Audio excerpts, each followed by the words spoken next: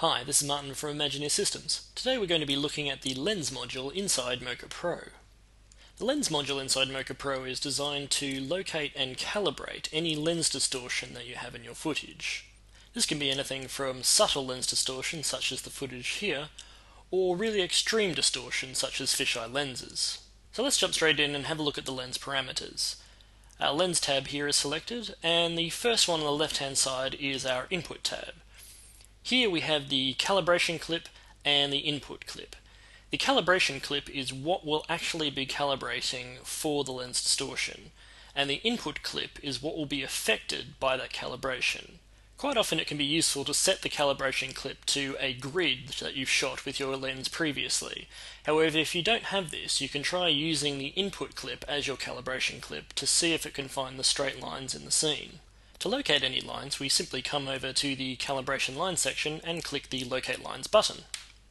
Mocha Pro will then try and find any of the straight lines in the scene and highlight them with these green lines. Once these lines have been located, we then have to tell Mocha which lines to use to assist the calibration. To do this, we come back to our Calibration Line section and choose New Line. We then come back up to the viewer and select one of the lines that we believe to be straight. In this case, we're going to click this one here. Once you've selected one, you either have to press New Line again or press the N key to select a new line. So over here I'm going to select this one, and then I'm going to press N again, and then select this line. This line here you can see is actually broken, so we need to select both by clicking once and then again. Anytime you see an extreme curve that's broken up into segments, you need to make sure that you select every single segment to tell Mocha that it is actually a straight line.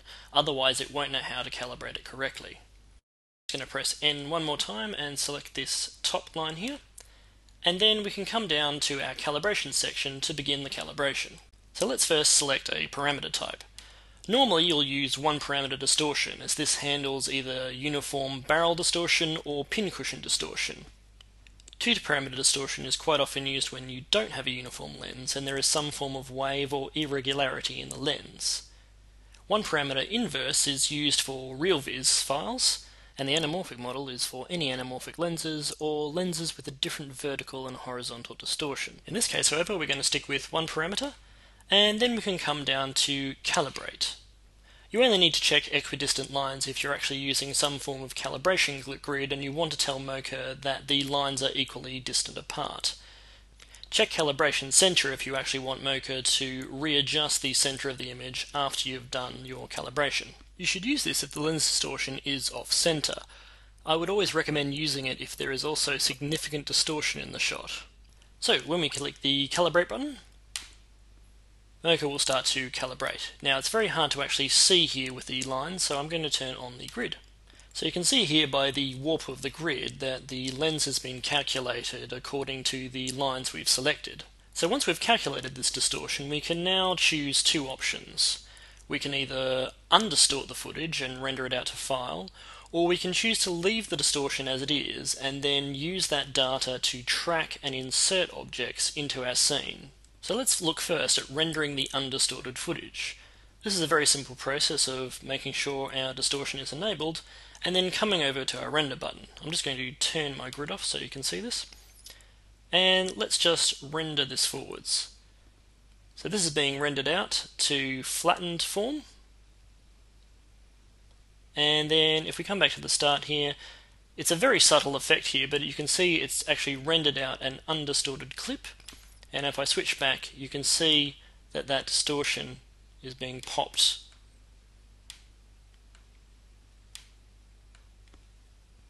The downside to rendering, of course, is the risk of loss of quality. So Mocha offers the other option of actually inserting distorted clips into the footage.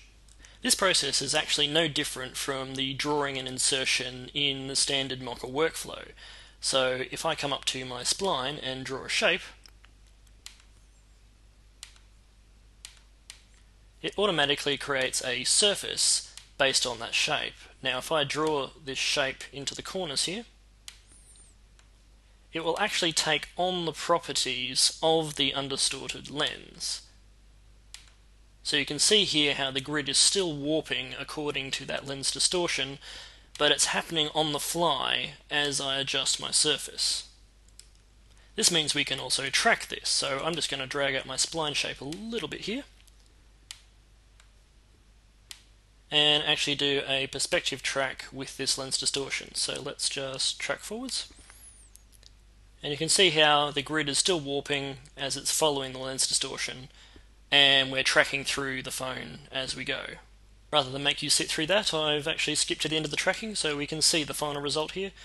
So we've tracked through the entire shot, and you can still see the warp following along as we go. So let's just quickly insert a clip.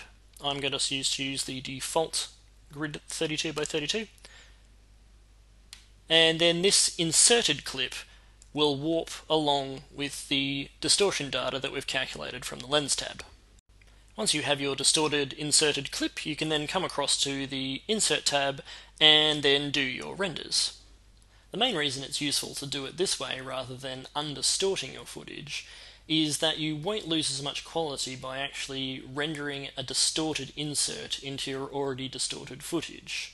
Of course, if your plan is to actually get rid of the lens distortion, you'll have to use the undistortion rendering method inside the actual lens module. Now that we've covered the basics of lens calibration in the lens module, we're going to have a look now at a two parameter distortion using a much more complex lens.